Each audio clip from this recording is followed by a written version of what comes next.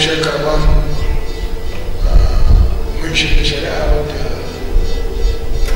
ta da mana hankali ba sai a ƙarshe da wa'ansu wa'anda ya tafi apc sun su masu jami'ar pdp ai abin da suke magana a soke zaɓe a masu ba a soke zaɓe a sabon zaɓe. An yi soke zaɓe a sabon zaɓe masu saboda ba ke da riba. Wa'ansu wanda suke jin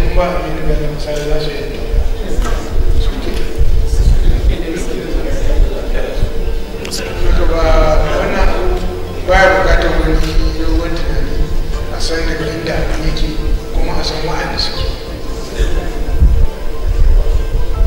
Kuma dole ta jami'in apc da wakili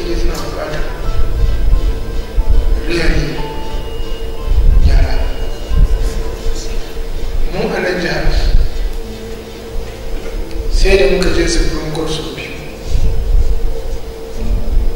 Akan ofisoshin ɗaurin kuwa da ciwon sai. Cewa zaɓen da aka yi muku ba ya da shi. A rushe.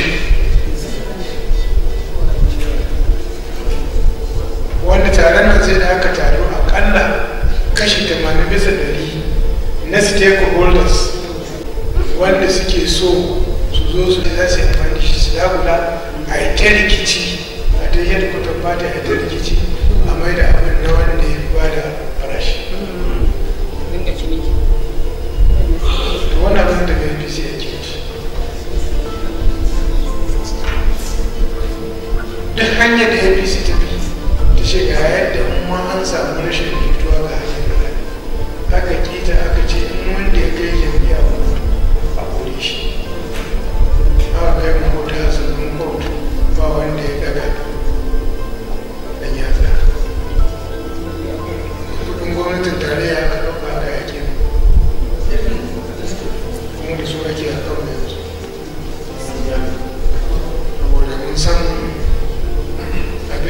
jiya da abin da ake yau.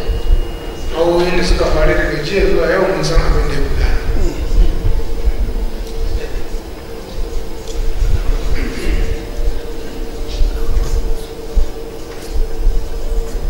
Wa'ansu tun da bai dubu biyu da sha biyar da gonan muka taru muka yi yaki apc ta wa'ansu da suka faɗi firamare ba su ƙara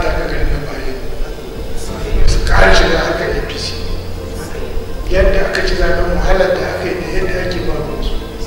To amma kuma su suka ci kula. Kuma haka Allah ya so. To amma kuma ba zai yi kuma da hannu a amfani da wannan dama a hana mun da lafiya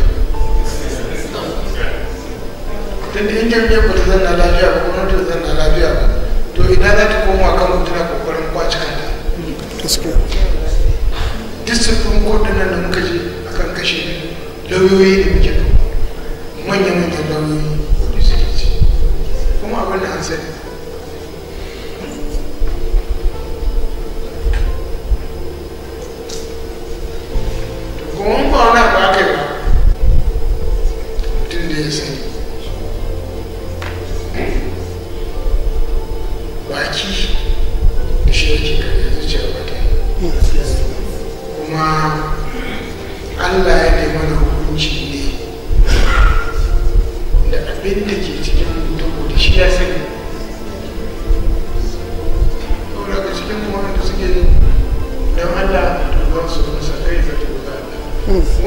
wanda kuma suke mulakinci da suna yin tsoron wasu.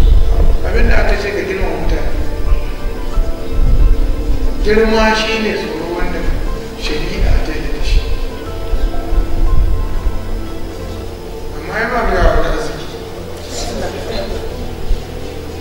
A kuma ne zai iya kashe ruwa kuma abin da Allah zai yi zai yi shi.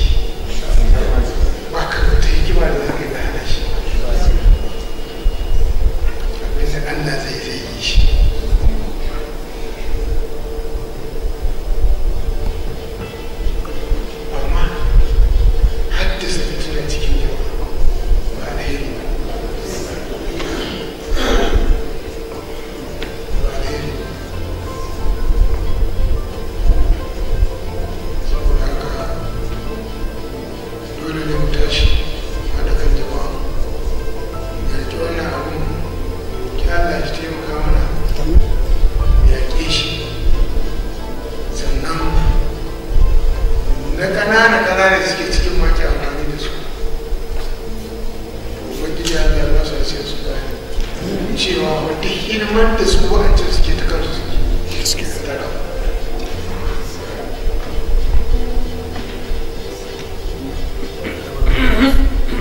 saboda haka really?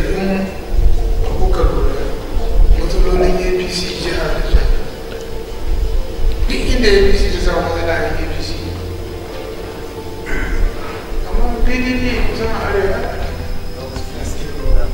da an yi apc sun yi apc ba za mu hada.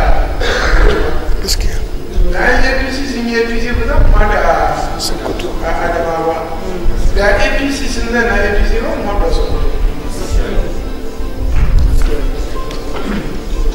kano da kyarmar shi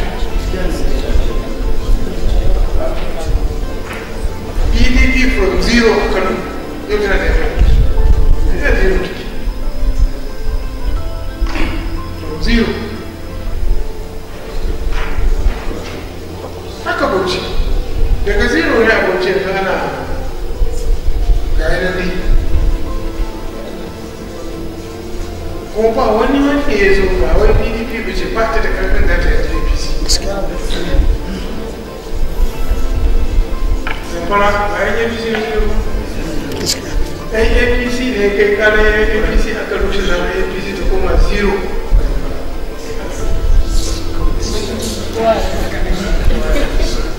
To in jam'iyyar da take so ta ci gaba ya riƙe kasa to ta ce wa'annan abubuwan da ta tura masu yi. To kai gobe wa zai ko me za ka gani mai tsoron kakai